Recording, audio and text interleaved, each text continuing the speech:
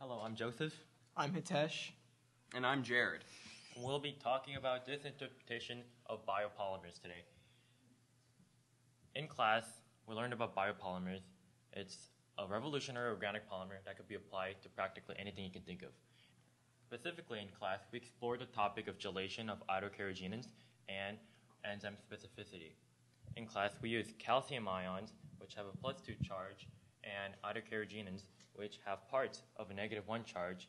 And by using the catalyst, the calcium ions, we're able to create different gels, hydrogels, with different strength at different speeds.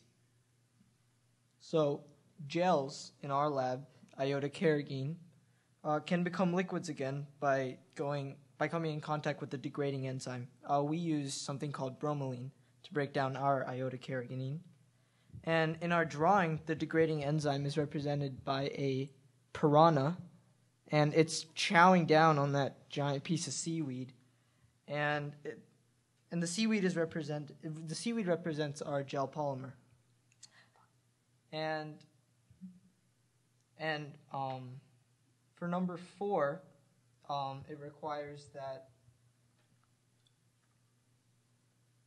it requires us to look on the nanoscale. And in our polymer, we see that we go onto the nanoscale and we see cells representing the inside of the seaweed.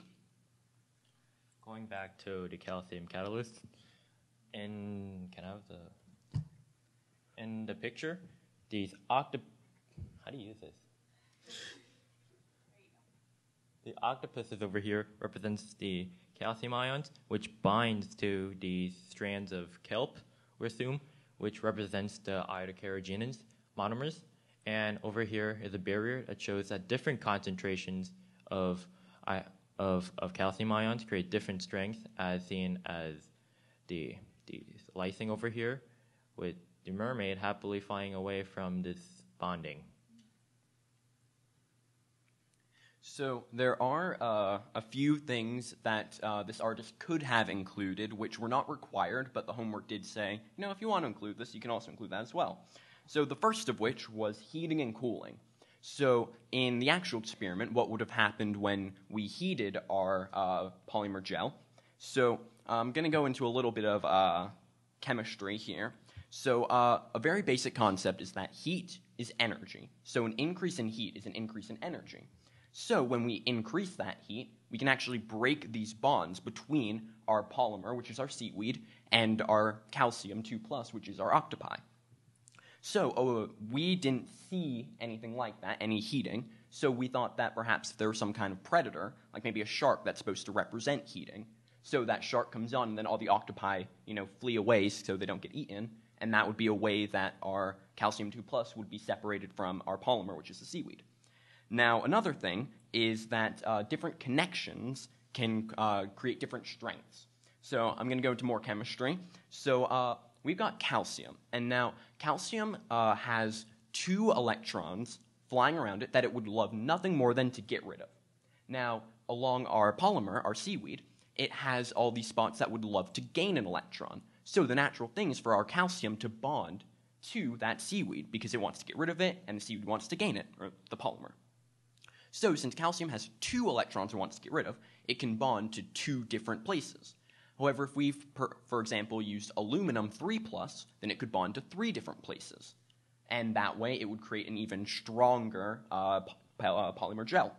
So, we didn't see that in here, so we thought, well, what if we included different animals that had different uh, positive charges to them?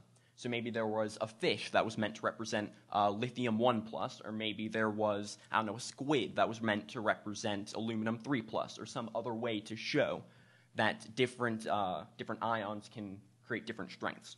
And there's one more concept that's a little bit confusing. So this is about how biopolymers can, uh, be, can act as very strong scaffolding.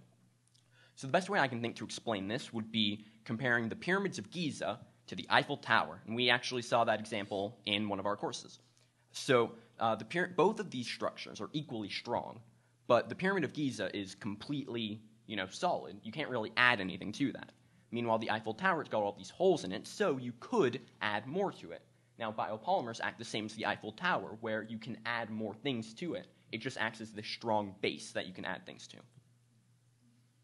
Thank you. But Yep. uh, and one more thing I want to add: we couldn't think of we couldn't think of any way that this artist could have added uh, could have included that scaffolding concept.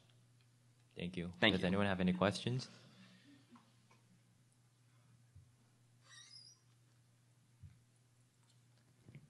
Aaron, come on. I know you've got questions out there. So you said uh, heating and cooling affects the biopolymer. Yeah. Can you explain how you would add heating to the picture? How would you add cooling? Okay. Well, uh, so So, by the way, the gentleman in the back said that the, there's heating and cooling, and he was wondering how it could affect the polymers. Well, what I would say is I think the best way is to assume that what we already have is a cooled version because in the in the experiment that we did, we had these hot plates to keep them hot to keep them separated. And uh, as soon as we took the as soon as we took the calcium 2 plus and the polymer off those hot plates, some of those examples they came together immediately. So, since these are already together, I would assume that this what we have in this image is the cooled version, but adding that predator or I mean some other way of adding heat would be the way that we show that it's been heated. And to add on to the topic of how heat affects hydrogels, as heat increases, the solubility of things such as iota-carrageenans and calcium ions increases. As a result, as it cools down, the hydrogel is able to form while it's while when it's hot, it maintains its soluble aqueous form. Parents? Questions from parents? Students? So all of our parents are biopolymers experts now?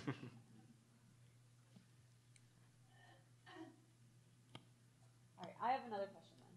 Okay, so you mentioned, so you showed this sort of zoomed in thing where you looked at like the individual blocks that make up the polymer. What were those individual blocks actually called?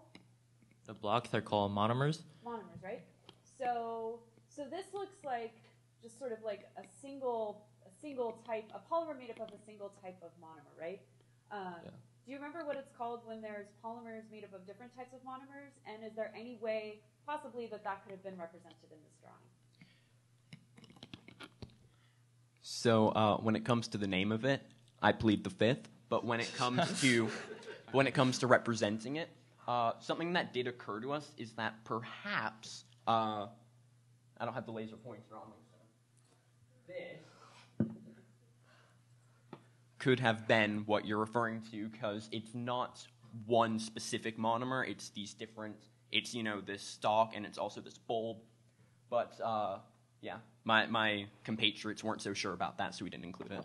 Yeah, for it to be a polymer, with, even with different ingredients, there has to be repetition of pattern. We could not see that clearly throughout that. But then the person who drew it could have included that with, say, like another kelp or something like that, made of made of more than one ingredient in a repeating pattern. So just for parents' knowledge out there, so it's a it's a copolymer when it's made up of different types of monomers. And if it was repeating, it would be a, a block copolymer. Any other any other questions? Uh, artists, would you would you stand up? I, I think I think she had a question in the back. Oh, Yeah, iota-carrageenans i- is uh, polysaccharide based. Is, oh wait, before I answer that, she she asked what iota-carrageenans may come from. And iota-carrageenin is a polysaccharide based polymer, and iota-carrageenins, um, I think it comes from an algae.